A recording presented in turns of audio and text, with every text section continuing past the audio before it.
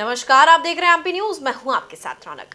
मध्य प्रदेश कांग्रेस का अब की बार सत्ता तक पहुँचने के लिए निर्माण पर विशेष फोकस है, जिसके चलते पूर्व उप मुख्यमंत्री स्वर्गीय सुभाष यादव की जयंती के मौके पर कांग्रेस के दिग्गज नेताओं का जमावड़ा लगा। इस मौके पर कांग्रेसियों ने एकता का बिगुल फूका। तो अधिक जानकारी के साथ हमारे सहयोगी सुनील हमारे साथ जुड़ चुके सुनील, क्या कुछ जानकारी सामने निकल कर आ रही है?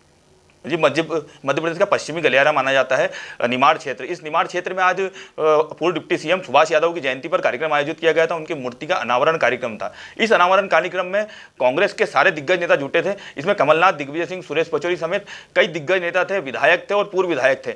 इन विधायकों ने एक साथ उपस्थित होकर निमाड़ में बिगुल फूक दिया और बता दिया कि आगामी विधानसभा चुनाव के लिए वो सब एकजुट हैं। तो बात करें निमाड़ की तो निमाड़ के सुभाष यादव एक बड़े नेता माने जाते हैं, किसान नेता माने जाते हैं और उनकी जयंती पर एक साथ कांग्रेस के दिग्गज नेताओं का जुटना काफ़ी कुछ महत्वपूर्ण है। और इसको हम देख सकते हैं कि आगामी विधानसभा चुनाव में काफ़ी कुछ महत्वपूर्ण माना जा रहा है, क्योंकि पिछले विधानसभा चुनाव में निमाड़ में कांग्रेस ने काफ़ी कुछ बड़ी जीत दर्ज की थी। और उसी का नतीजा था कि वो सत्ता के गलियारों तक पहुँची थी और सत्ता पर काबिज हुई थी। तो इसी तरह से कांग्रेस आगामी विधानसभा चुनाव को लेकर भी जो सत्ता का सिंहासन है, उस पर काबिज होने के लिए निमाड़ के रास्ते प्रवेश करने के प्रयास में लगी है।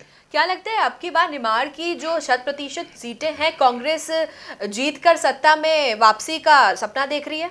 जी, बिल्कुल, अगर बात करें निमाड़ की तो निमाड़ में 26 विधानसभा सीटें आती हैं। इसमें करीब सात ज़िले आते हैं धार, बड़वानी, झाबुआ, इस तरह से ये आदिवासी इलाके हैं और खंडवा जो इलाका है, इसमें बीजेपी मज़बूत है, लेकिन जो अन्य जो सारे ज़िले हैं, उसमें कांग्रेस की अच्छी स्थिति है। तो इसी तरह से कांग्रेस आगामी विधानसभा चुनाव को लेकर तैयारी कर रही है कि निमाड़ के रास्ते अब की बार वो जीत दर्ज करें और सत्ता तक पहुँचे। और इसी का नतीजा आज हमको देखने को मिला कि जिस तरह से निमाड़ में कांग्रेस के सभी दिग्गज नेता जुटे।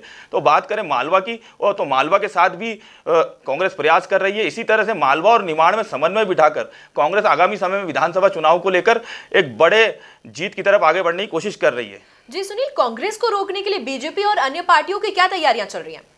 जी बिल्कुल जो अन्य पार्टियाँ हैं, वो भी प्रयास कर रही है कि जिस तरह से कांग्रेस तैयारी कर रही है तो वह भी इस सारे क्षेत्र में सक्रिय हैं। जो उनकी योजना है इस तरह, उसको लेकर बीजेपी आगे बढ़ रही है और बीजेपी तैयारी कर रही है उनके कार्यकर्ताओं की जो सारी टीम है, उसको उन्होंने तैनात कर दिया है। तो इस इलाके से आए तो इस इलाके में हम देख सकते हैं, जिस जिस तरह से वन मंत्री विजय शाह आते हैं तो विजय शाह लगातार वो जितने आदिवासी बेल्ट है, उनमें सक्रिय और आदिवासियों को सक्रिय करने की जो कार्यकर्ता है, उनको सक्रिय करने की कोशिश में लगे तो इसी तरह से बीजेपी और जो अन्य दल हैं, वह भी तैयारी में जुटे हैं। यहाँ एक बड़ी महत्वपूर्ण चीज़ है कि या जयस भी सक्रिय है और आम आदमी पार्टी भी आगामी समय में यहाँ पर सक्रिय होने की तैयारी कर रही है। उन्होंने आदिवासी बेल्ट में से भी अपने कई नेताओं को खड़ा करने की कोशिश की है। तो हम देखेंगे जो आगामी जो विधानसभा चुनाव है, उसमें निमाड़ काफ़ी कुछ महत्वपूर्ण हो जाएगा। निमाड़ की जो छब्बीस सीटें हैं, वह एक बड़ा फेरबदल कर सकती है। जी, धन्यवाद सुनील। तमाम जानकारियों के लिए आप बने रहिए एमपी न्यूज़ के साथ। एमपी की नब्स एमपी का हाल, मध्य प्रदेश की हर खबर एमपी न्यूज़ टीवी के साथ। लगातार खबरों के लिए सब्सक्राइब करें हमारा YouTube channel MP news TV latest updates के लिए बेल आइकन दबाना जरा भी न भूलें।